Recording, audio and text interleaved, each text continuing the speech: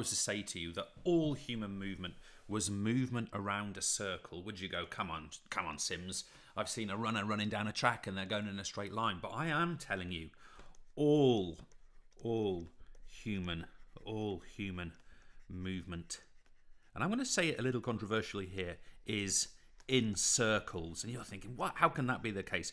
Well, let me see if I can sort of express this and try and convince you. We ha- we have a bowler here, for example, uh, Bumrah, I think it is. And what we could say here, for example, if we were look at if we were to look at this bowling shoulder. Of course, what the shoulder is going to do, imagine the shoulder now going through flexion, down into adduction, and so on. This shoulder is going to make what? Circle.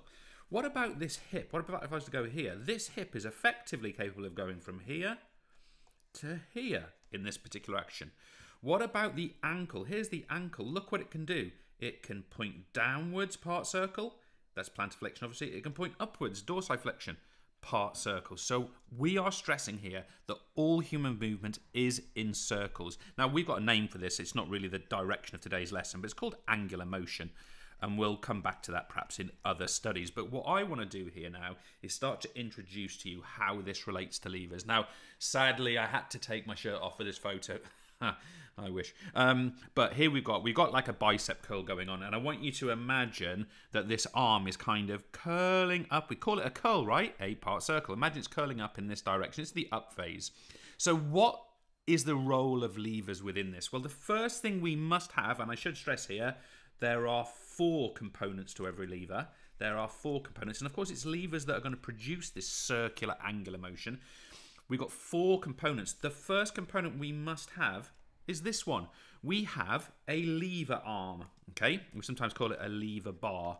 Okay, but it's called a lever arm. It's effectively a solid rod. Now, what would be, this be in this case? Well, it's actually the radius in the forearm. We've got a lever arm, a bone, in this case, a long bone, right? What else do we need to have? Well, we need to have some kind of pivot point or fulcrum. So we would call this a fulcrum, okay, or a pivot. You can use the word pivot, it's absolutely fine. And of course, here it's the elbow joint, which we've just seen, you know, especially if you can imagine this uh, elbow joint was bending, it could, it could flex here, it could extend here. That's not the action in bowling, of course. What else do we have? Well, we have a load. In this case, we've got the dumbbell, right? This is called a load or a resistance. So we need that for a lever to operate. And finally, folks, we must have what we refer to as an effort. And in this case, we have the bicep, which is, of course, here, impressive on this particular person. We've got this bicep, and it's inserted down. If I just change colour, it would be inserted down as a radius about here. And of course, when it contracts upwards like this, guess what happens? We get this curling, we get this curling of this dumbbell in this way. So let me just stress that. We call that red arrow, arrow or the uh, contraction of the muscle, the effort. Okay, so we've got our one, two, three, four components. One, two, three, four components of a lever. Now, we could go a lot further with this and we could talk about all kinds of things here. But where I want to shift our attention now is what we call the classification of levers. Classification of levers. Let me choose a nice pink to show this. The classification of levers because there are more than one types of lever and they all perform slightly different functions and we'll come to that come to that towards the end of the tutorial. Now, you've got to remember a little rhyme in order to really be able to identify different lever classifications. It goes like this. For one, two, three, think, see if I can get the same colours, think F, L, I'm not sure I did. Think E. For one, think F. For two, think L. For three, think E. Now, what on earth am I banging on about here? Well, we can tell which lever is which by which component is in the middle. Now, by definition, of course, the lever arm can't be in the middle. It's the solid bar, everything's attached to it, right? So we're asking, is the fulcrum in the middle, is the load in the middle, or is the effort in the middle? So I'd like you to look at our bicep curl and which of these is in the middle. Now, if you're saying to me, James, the effort's in the middle, but it's not bang smack in the middle, it's sort of between the other two, you would be right. So we're saying the effort is between the other two. So the effort is between the other two. This must be a third class lever. Now, what we're going to do from here forward is we're going to clar uh, cl clarify that as well, but we're going to classify some other levers. Let us talk about first class levers. Now, these types of levers are not overly common in the human body, but there are a couple of really good examples, and we've got them here. We've got the example of neck extension. So we've used the sporting application here of uh, a seated volleyball player uh, focusing upwards into the air by leaning their head back to focus on the ball and to play a set shot. But look what we've got, guys. We've got our fulcrum in the middle. We've got our, that of course is the neck joint, and I would like you to refer to that ideally as the atlas and axis joint. Let me write that down for you. Atlas and axis joint. Okay. Now, lots of people say that this, in fact, even AQA say it's the joint between the top vertebra and the cranium. That's actually not true. It's a joint between the top two vertebrae. Anyway, we're not going to go into that, but just if you want to go study it, go Google it. You'll see what I mean. It's, it's, a joint between C1 and C2 vertebrae. Anyway, that's a whole other story. But the point is this one: the fulcrum is between the effort. In this case, the effort is the contraction of the sternocleidomastoid. You've probably come across this uh, muscle already and you know it's a breathing muscle but here it's able to pull and pull on the head and pull downwards like this. And of course the the weight or the load or the resistance is the weight of the head. And that is now lifted up. And that's where we get neck extension. Now the other one we've got is elbow extension. You might be thinking well is everything extension? Um, a, a first class lever. The answer to that is no. And lots of people get this one confused guys. Let's let's go through it carefully. The fulcrum is the elbow. So nothing shocking about that. There's the fulcrum, it's the elbow joint just there. The effort is the tricep contracting. Now, this is the key thing. The tricep, which of course is kind of here-ish, right? It inserts down onto the very point of the elbow. Look, it's to the right of the elbow. It's the back point of the ulna. You can call it your funny bone if you want. Don't do that in the exam, but that's what it is. The tricep there. And of course, this fighter here is effectively lifting the load, which is their forearm. You know, they're propelling their forearm and their glove forward to strike the opponent in sort of like a looks like a an uppercut uppercut jab shot somehow, right? But this is extending. Effectively, the arm is straightening to do this at the elbow. So here, of course, oh, even though the tricep and the elbow, uh, tricep insertion and the elbow are very close together, the elbow is the central feature between the other two. That means the fulcrum is in the middle for one, two, three. Think F LE. We've got a, we've got a first class lever.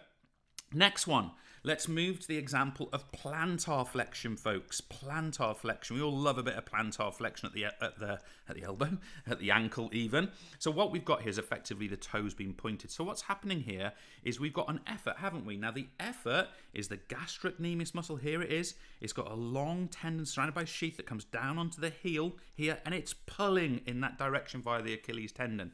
So it's pulling the heel up, the toes down. Okay, that's what it's doing. So we've got that as our. Let's put it in there. We've got that gastrocnemius attaching to the heel. We call it inserting if you want to use that term. We've also got the load. The load is here. It's body weight. It's body weight and it acts down via the tibia because that's where the center of mass acts. And of course, then we have got the fulcrum. Now, in this case, people often say the ankle is the fulcrum, but it's actually the contact point between the ball. Let me choose a different color. The ball of the foot and the floor. Okay. Now, this is where plantar flexion is generated. Now, what do we have? Body weight is the central component, not necessarily in the middle, middle, but between the other two, we've got plantar flexion. But uh, load is in between the other two components. Therefore, for one, two, three, think FL load E. It's got to be a second. It's got to be a second class lever system. Now, we're going to come back to these in a second. Finally, we've got our third class lever system. Now, we've already looked at the bicep curl, and I'm pretty sure you could probably just fill that in for yourself. But just to clarify, we've got the elbow, which is the um, fulcrum. We've got the bicep, which is inserting down onto the radius, unlike the tricep, which inserts down onto the ulna. And then we've, of course, got the dumbbell.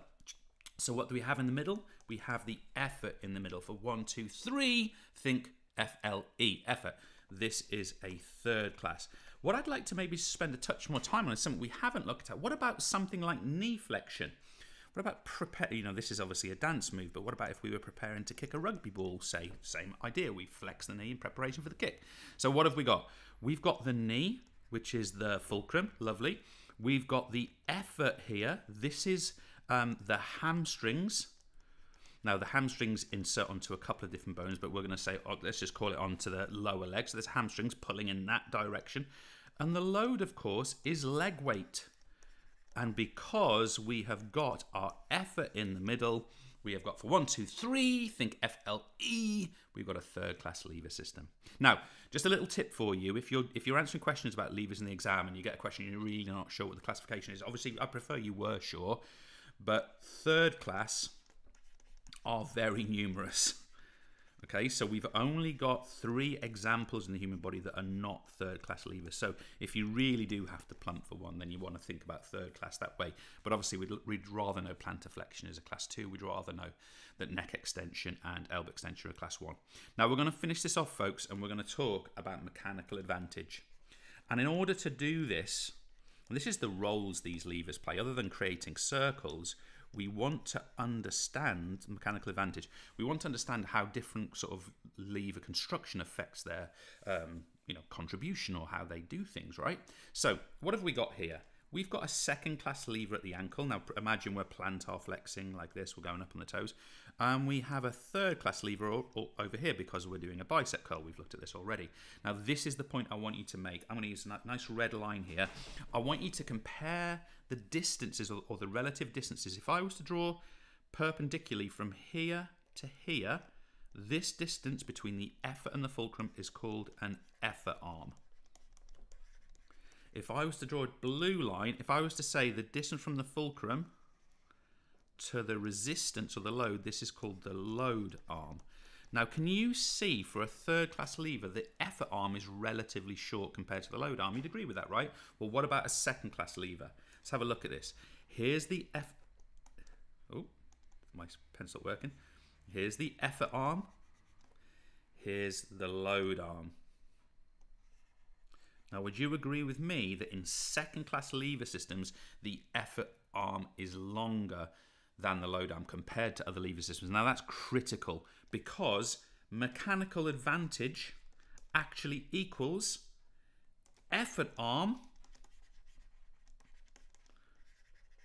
divided by, and you could literally measure it, of course, divided by load arm. So, in other words, if we have a long effort arm, mechanical advantage is high. If this is long and this is short, this is high. Now, that's all fine, and we could literally measure that. We could get ruler out and measure our ankles, probably.